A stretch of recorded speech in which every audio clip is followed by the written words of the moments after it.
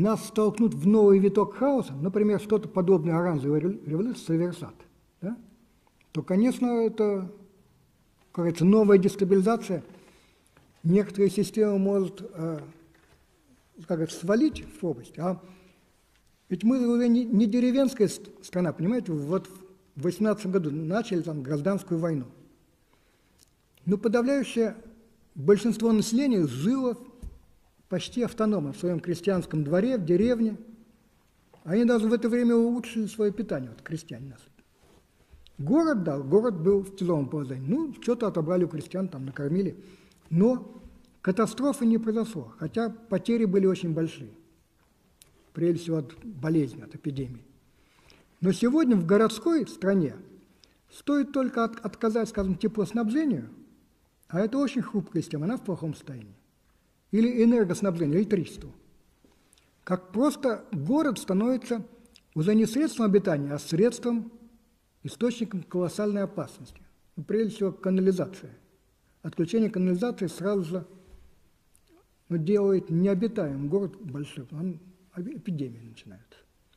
То есть э, дестабилизации сегодня, конечно, допускать нельзя э, ни в коем случае. Как, какие бы большие, так сказать, претензии и нарекания к власти не были, как бы не хотелось ее потрепать, так сказать.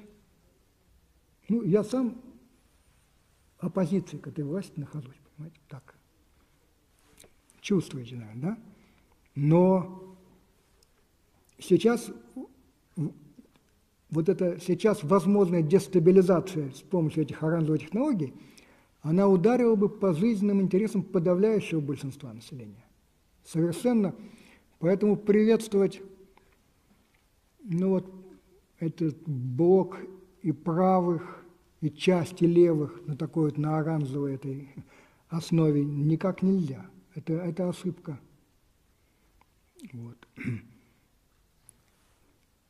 И, понимаете, очень мы, ну, в целом вот это последние 15 лет Россия, как говорят, находится в исторической ловушке.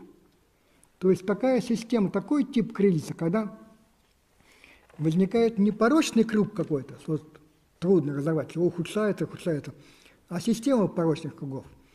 Вот попала царская, царская Россия, попала в такую ситуацию ну, вот после 1905 года.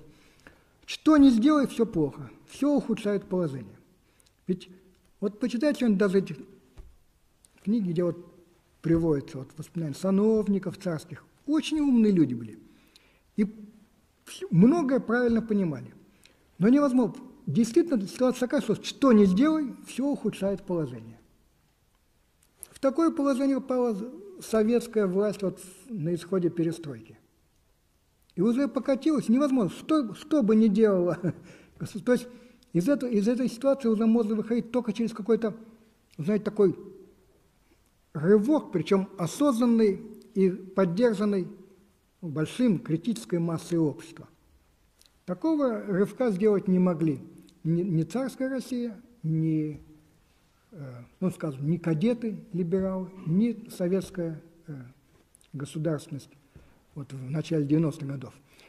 В принципе, мы сейчас находимся тоже в исторической ловушке. Пока еще есть, как говорится, какое-то пространство для маневра, ну, что-то там нефтедоллары нам дают – но, но если мы за оставшееся время, как сказать, вот это не соберем эту часть общества, которая ну, договорится о каких-то, о, о каком-то проекте, понимаете, мы эти все пока что ресурсы растратим, а положение будет ухудшаться независимо от, от доброй воли, скажем, ну, скажем, правительства.